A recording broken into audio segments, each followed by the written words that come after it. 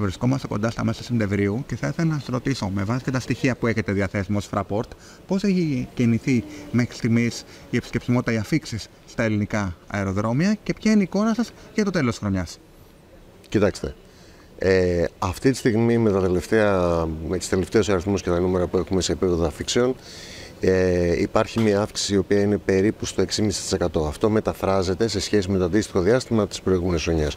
Αυτό μεταφράζεται σε περίπου 1,5 εκατομμύρια επιβάτες περισσότεροι από την προηγούμενη χρονιά. Βλέπουμε λοιπόν ότι σχεδόν όλοι οι προορισμοί έχουν μια αρκετά μεγάλη αύξηση, η οποία κυμαίνεται από 1,5-2-3 μέχρι και 10-12-15%.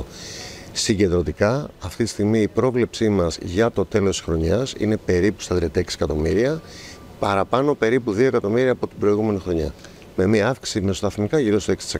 Το οποίο αποτελεί και ιστορικό ρεκόρ, σωστά; Ισχύει, ισχύει. Και αυτό είναι η τρίτη χρονιά που γίνεται. Ξεκινώντα από το 22 δηλαδή το 23, εάν δεν γίνει κάτι τραγικό αυτή τη στιγμή μέχρι το τέλος του χρόνου, υπολογίζουμε περίπου στα 36 εκατομμύρια επιβάτες.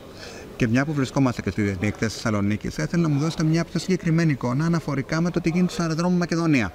Κοιτάξτε, το αεροδρόμιο της ε, Θεσσαλονίκης είναι καταρχάς η κορονίδα των 14 περιφερειακών αεροδρομίων που έχουμε αυτή τη στιγμή.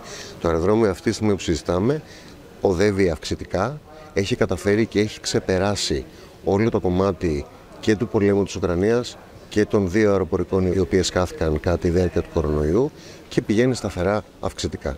Φέτος υπολογίζουμε ότι σε σχέση με πέρυσι θα έχει μια αύξηση η οποία μπορεί να είναι γύρω στο 6,5 με 7%.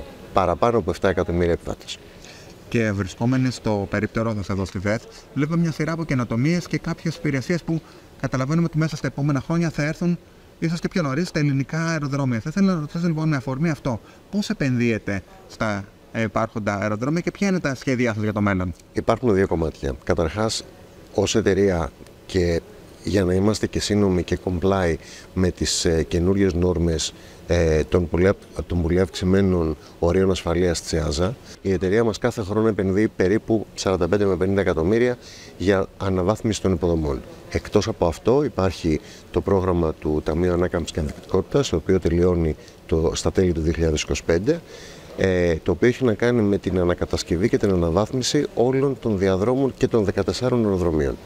Εκεί χτίζουμε πρακτικά καινούριους διαδρόμους.